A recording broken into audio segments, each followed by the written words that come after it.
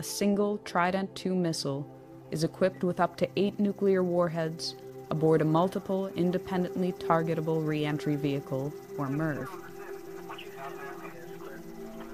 A single W 88 warhead delivers the equivalent of 475 kilotons of TNT.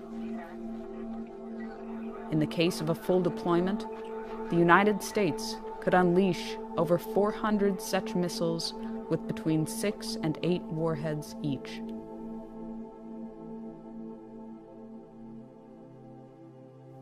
From the time of launch, it can take less than 10 minutes for an SLBM to reach its target, or as little as 5 minutes if it is flown on a depressed trajectory.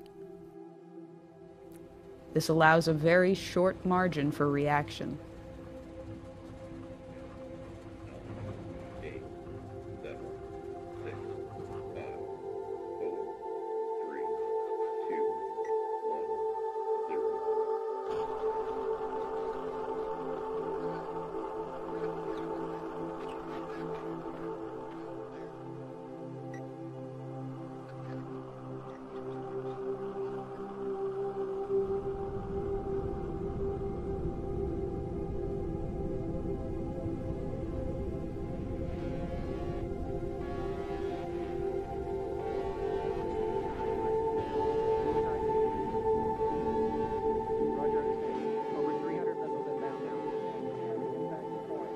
Early warning radar systems in Russia, China, and elsewhere immediately detect the missile plume. They can determine the trajectory and intended target of the missiles. Minutes fracture into seconds. This is not a test. This is not scheduled.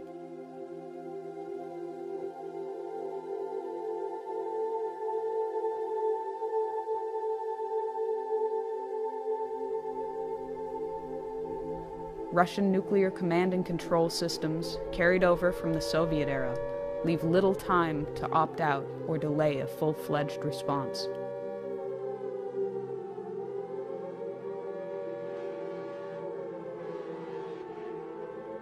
Within 50 seconds, the missile has peaked above the Earth's atmosphere. It reaches its top speed. The engine drops off.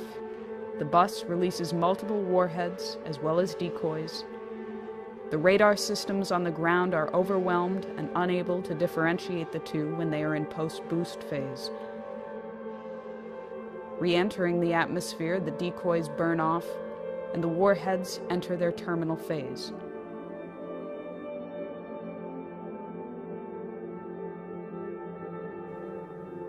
It will be less than 180 seconds before they touch down.